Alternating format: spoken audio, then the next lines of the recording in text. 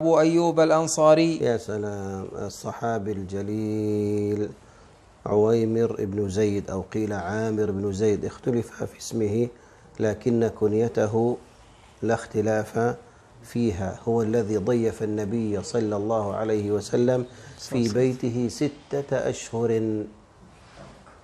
رضي الله عنه وأرضاه. وكان ابن عباس يحملها له.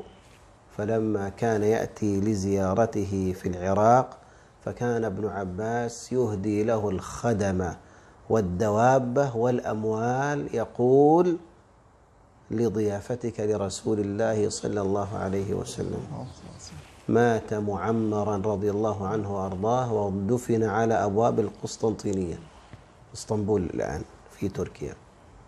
أبو أيوب الأنصاري رضي الله عنه وأرضاه لما أتت القصواء وبركت في مكانها فإذا بالناس على مدرجتها من الجهتين كل يدعو النبي صلى الله عليه وسلم لكي ينزل عندهم ضيفا ويقولون إلى الضيافة والمنعة وإذا بأبي أيوب رضي الله عنه وأرضاه في حركة يسيرة يأخذ متاع النبي ويذهب به لما بركت الناقة. وإذا بالناس حوله عليه الصلاة والسلام يدعونه للضيافة فقال أين رحلي؟ قالوا عند أبي أيوب.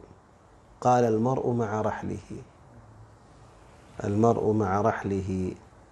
فضيفه أبو أيوب عنده وجعله في أعلى الدار. وأبو أيوب وأهله في أسفلها وكان يأتيه بطعامه قبل أن يأكل منه شيئا. إذا طبخوا الطعام وطهوا الطعام يأتي به للنبي أول عليه الصلاة والسلام. فكان في البداية قال أين تريد يا رسول الله؟ قال السفل أرفق بنا يغشاني أصحابي. قال خلينا تحت يعني. وهذا من فوائد الإنسان إذا نزل ضيفا ألا يكون مزعجا لأهل إيش؟ الدار ولا سيما إذا كان سيطرقه الناس يأتون للزيارة إذا كان طالب علم أو رجل وجيه أو كذا. قال السفل أرفق بنا هكذا في البداية. فكان يأتيه بالطعام ثم إذا بقي يأخذ الماء ويتفقد أصابع النبي عليه الصلاة والسلام رجاء البركة. فجاءه يوما بطعام فيه ثوم أو بصل ثم أعطاه إياه وانصرف عنه. فرجع إليه فوجد أن الطعام كما هو.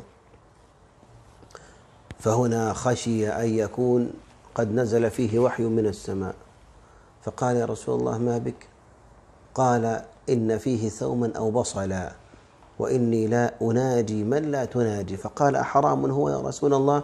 عليه الصلاة والسلام. قال لا ولكني أناجي من لا تناجي. قال لا جرم لا آكله بعد اليوم.